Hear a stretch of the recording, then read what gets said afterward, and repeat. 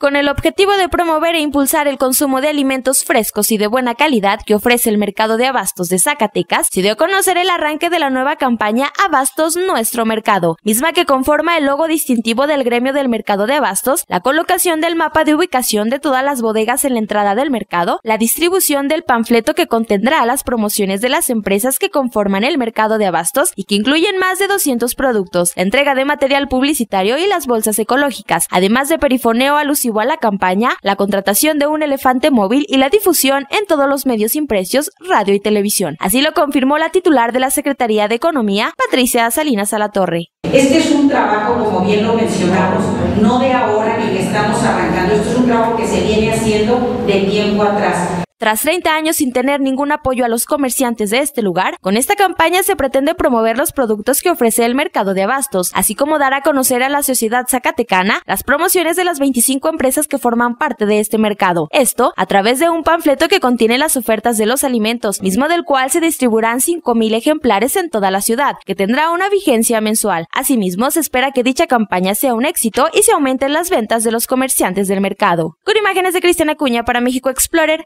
Alejandra de Ávila.